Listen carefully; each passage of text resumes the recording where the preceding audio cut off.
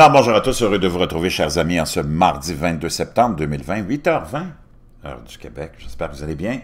Même si ça va mal, et vraiment, ça va de plus en plus mal, j'espère que vous êtes conscient que ce que vous vivez en ce moment, c'est vraiment pas la situation qu'on devrait vivre. Ça va se détériorer. Économiquement, ça va être une hécatombe comme jamais on l'a vu. Politiquement aussi, socialement, on va voir les, Naturellement, il y a déjà beaucoup de perturbations sociales, mais il va en avoir de plus en plus. Et cette pandémie qui finit plus de finir, l'élection américaine, l'année 2020 nous réserve encore plein de surprises. Et c'est pas fini. Pendant ce temps-là, on va aller sauter dans un scandale apparent. C'est un lien qui m'avait été envoyé hier par euh, euh, Salvatore, un abonné que je salue, et on a fait sortir la nouvelle en Europe, un peu partout, hein, de cette fraude possible d'une enquête internationale qui révèle le blanchiment de sommes énormes d'argent de politiciens corrompus, de dictateurs, hein, pour rendre tout cet argent volé au coffre, puis au public, puis au coffre du gouvernement hein, dans leurs pays respectifs, le rendre légal. Pour faire ça, tu as besoin de la coopération des avocats, des notaires, des banques, de beaucoup de monde. Et on va aller lire cette nouvelle-là avant d'aller faire un retour au 22 août 2020, où un journal nous apprenait que Warren, Buffett, hein, le grand investisseur euh, de Wall Street, celui qui réussit toujours à avoir des, informations privilégiées, j'imagine, a posé un geste vraiment étonnant. On va aller voir ça après. Cette... Euh, petite lecture qu'on va faire ensemble, qui nous venait de 20 minutes. Euh, l'investigation porte notamment, pointe notamment du doigt cinq banques, dont JP Morgan Chase, c'est ça qui va être important ici de retenir pour le, petit saut qu'on va aller faire au mois de au 22 août 2020.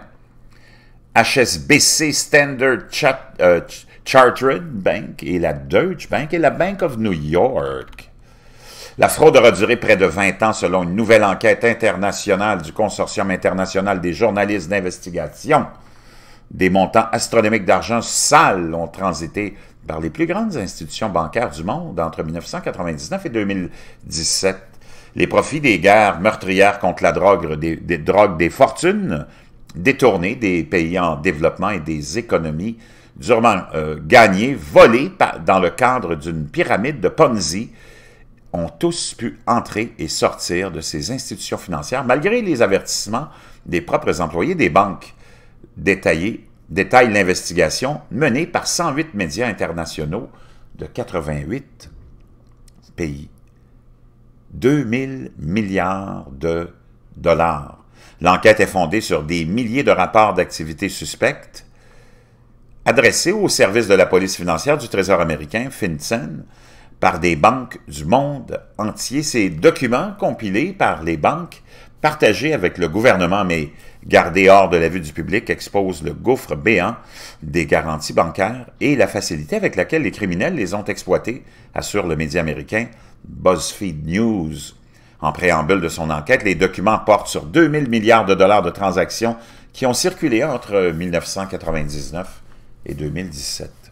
L'investigation pointe notamment du doigt cinq grandes banques, dont JP Morgan Chase, HSBC Standard Chartered et la Deutsche Bank et la, Bank of New York Mellon, accusées d'avoir continué à faire transiter des capitaux, des capitaux de criminels présumés, et ce même après avoir été poursuivis ou condamnés pour faute financière. Au terme de ses recherches, BuzzFeed News affirme que les réseaux par lesquels l'argent sale transite dans le monde sont devenus des artères vitales à l'économie mondiale. Dans un communiqué, la Deutsche Bank a assuré que les révélations du consortium étaient en fait des informations bien connues de ses régulateurs et dit avoir consacré d'importantes ressources au renforcement de ses contrôles et être extrêmement attentive au respect de ses responsabilités de ses obligations. L'investigation pointe aussi l'impuissance des autorités américaines dans la régulation de ces transactions. Dans un communiqué publié avant la diffusion de cette enquête, la police financière du Trésor américain a averti que la diffusion des rapports d'activités suspectes était un crime qui peut avoir un impact sur la sécurité nationale des États-Unis. Pendant ce temps-là, Warren Buffett choque les investisseurs en vidant ses actions, en liquidant ses actions dans les banques et en achetant de l'or. 22 août, de, euh, le, 25 août, ça a été actualisé le 25 août, mais la nouvelle est sortie le 22 août, 25 août 2020. Il n'y a pas longtemps. Est-ce que M. Buffett avait eu des petites informations privilégiées? Wow! Warren Buffett a choqué les investisseurs en jetant ses actions des banques et en achetant dans le deuxième plus grand mineur d'or du monde, alors que Warren Buffett, pendant des années et des années, a dit que d'investir dans l'or était vraiment une mauvaise idée. Et soudainement, il a liquidé ses actions des banques pour investir dans ce qu'il appelait une mauvaise idée. Le célèbre investisseur de valeur et PDG de Berkshire Hathaway a déjà déclaré qu'investir dans l'or était une mauvaise idée. Ça nous vient du New Daily, car le métal précieux ne produit aucun revenu et ne vaut que ce que les autres sont prêts à payer. Mais comme le révèle un récent dépôt auprès des régulateurs américains, M. Buffett semble maintenant se remettre en question et chercher du réconfort dans la foule. C'est alors que l'enthousiasme récent de M. Buffett pour l'or va à l'encontre de ses opinions passées. L'or se porte toujours bien dans une crise et se situe actuellement à des niveaux records après avoir franchi la barre des 2000 dollars US pour la première fois de l'histoire. En période de trouble, les investisseurs paniqués vendent des actifs risqués et acheminent le produit vers l'or pour protéger leur richesse, car le métal jaune est un actif refuge qui conserve normalement sa valeur pendant un choc économique, et ainsi on pourrait raisonnablement conclure que la décision de Berkshire Hathaway, hein, dont euh, M. Buffett est le PDG, d'acheter pour 20,9 millions d'actions de Barrick Gold, tout en se débarrassant de ses actions de JP Morgan, Wells Fargo, Goldman Sachs, que M. Buffett a perdu confiance dans l'économie mondiale. Euh, ouais, OK. Mais les analystes du marché ont déclaré qu'une telle vision était simpliste, car d'autres forces, forces sont en jeu. Euh, Shane Oliver, économiste en chef d'AMP Capital, a déclaré que cette décision était étrange pour un investisseur de valeur autoproclamé mais pourrait signifier ou signaler que M. Buffett fait le pari que l'inflation va remonter et que les taux d'intérêt resteront bas. On pense que l'inflation va s'accélérer grâce à l'impression de monnaie de la Banque centrale et aux dépenses déficitaires des gouvernements et le dollar américain baisserait. Et comme l'or est évalué comme les autres matières premières en dollars américains, cela profiterait alors à cela s'ajoute le fait que les taux d'intérêt sont à des niveaux historiquement bas, ce qui signifie que le coût d'opportunité, blablabla, blablabla, blablabla, je vous laisserai le lien de ça aussi dans la boîte de description. Mais qu'est-ce qui a pris à M. Buffett, qui a toujours dit que d'investir dans l'or, c'était vraiment une mauvaise idée, puis il a répété ça, moi je l'ai entendu dire souvent, et que soudainement, il se débarrasse de ses actions, entre autres de JP Morgan, et qui est coincé dans ce scandale? Ben, JP Morgan, qui a vu ses actions baisser, toutes les actions de ces banques-là ont baissé hier d'au moins entre 7 et, je pense, 8. On va essayer de voir si euh, je peux trouver quelque chose là-dessus.